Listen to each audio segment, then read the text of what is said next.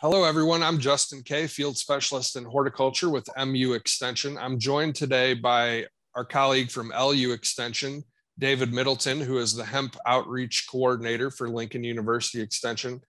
And I wanted to bring Dave on to talk about some of his recent research he's been working on with some farmers regarding the use of essential oils in high tunnels to control some of the problematic pests such as aphids, spider mites, and thrips. So thanks for joining us today, David.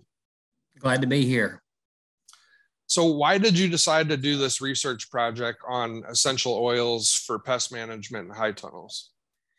Uh, it's multifaceted in that um, here in Southwest Missouri, we've got a lot of growers that grow year round, especially greens through the wintertime. And working with our organic growers, we're very limited on the number of pesticides that we can use. And in the wintertime, you know, when the tunnels are closed up, it's hot, it's humid. Uh, aphids, spider mites, and thrips just have a heyday in there because we don't have the natural predators that we do when the summertime when we've got the sides down. And so it just came about in a weird way. My wife is big into essential oils and she goes to classes and, and meetings. And she was coming back telling me about how you could put some of these on your dog or your cat and take care of fleas and ticks and these sort of things. And it got me thinking, well, if these will get rid of some insects on animals, what will it do on some of our insects that we have in plants? And so started doing some research and looked at many different oils and, and came up with five that I wanted to do some work with. And those are um, lemongrass, peppermint, lavender, cedarwood, and orange. And so that's where we started out our research. Basically, uh, I got with three farmers that grow year round and do a very good job and uh, wrote a specialty crop block grant uh, with Webb City Farmers Market and got it funded. And so we just finished up a two year study on using oils in high tunnels. Awesome. Um, so why did you decide to go? I noticed there was a fogger in that photo. Why did you decide to go with the fogger instead of a back backpack sprayer? That came from our farmers and talking with them what they wanted to do. And because we're mainly taking greens in the wintertime. We wanted something that had the, the droplets dispersed so much that they would get down into the heads of lettuce. And so that was the reason for going with the fogger instead of the backpack sprayers, just to get the size of the particles so much smaller to get down in. You know, aphids like to get down inside the plant. They like to get underneath the leaves and trying to get a coverage that way. I did have one grower that they were having some trouble with their backpack fogger because they've got such wonderful soil. They were blowing too much dirt up on their plants. And so they did go back to a backpack sprayer, but they got the nozzle really, really fine to get that uh, dispersed. Okay.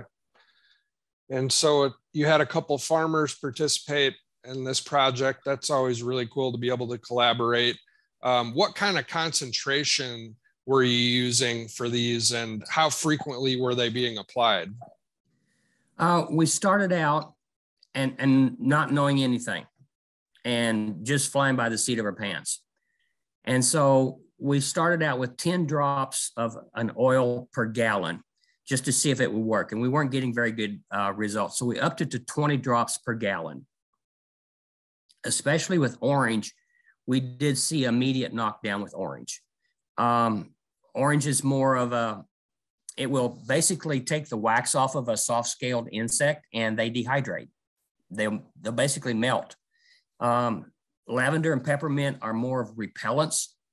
And so we've done different work with uh, combinations. And so um, one of my growers has done a, tremendous amount of work, uh, you know, mixing and matching and seeing what works. And it seems like, you know, cedarwood, orange, and the uh, lemongrass are, are all insecticides. When you look at uh, lemongrass, that's citronella. And so cedar has uh, some properties that will actually entice insects to die, whereas lavender and peppermint are more repellent. So um, mixing some of those combinations together to get some control.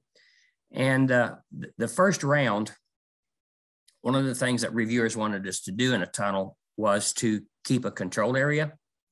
And so we were treating two thirds of the tunnel weekly and one third of the tunnel we didn't treat. And my uh, grower was counting the number of aphids on his harvest lid. And he had like 25% less, no, 75% less aphids on the treated than he did on the untreated. The problem is in an untreated area, they go to a mass population after a while and just explode and take over the tunnel. And then you got to come back and spray it with an insecticide. You know, we're very limited on the number of OMRIA products that we have for our organic growers and just trying to find a way that we could stretch that period out between using the chemical sprays with something that's more um, friendly to our environment and plant-based. Great. This sounds like a really interesting project. I guess any organic grower would probably want to check with their certifier before they use these oils, but it sounds like the growers that you worked with did were able to get approval. Um, let, let, me let me address that real quick. We did go to the uh, certifiers before we started, and one of the requirements for us to be able to use these oils is they have to be 100% pure therapeutic organic based oils. Something that you're finding at a Walmart or a gas station is probably not going to work. You're going to have to have something that's uh, you, you know the source and you know the concentration. So, um, what are some of your key takeaways from this research project that you know growers might want to think about implementing or might want to give a try? We did see some results. They're not long lasting, but it does give us a break between coming back with uh, the chemical sprays. Uh, there's no post harvest uh, interval. There's no need for protective equipment. Um, all these oils people put on their skin, take internally. And so there's no harm to the applicator with using these oils. We need more research. I'm hoping that uh, somebody at a university will pick this up and do more controlled studies. I'm actually working with uh, Dr. and Mensa at Lincoln. He's the IPM specialist, and he's gotten some of these same oils and doing controlled work inside of a greenhouse. And he is seeing some results. We need to know, you know, one of the things we did, we just mixed these oils in water and they don't mix but with the shaking of somebody walking around, the the motor running, it does give um, some mixture in it, and and you can really smell them when you're spraying. So we knew we were getting some out there, but uh, overall, um, very pleased with uh, some of the things that we found. We know that these do have a benefit and have a use.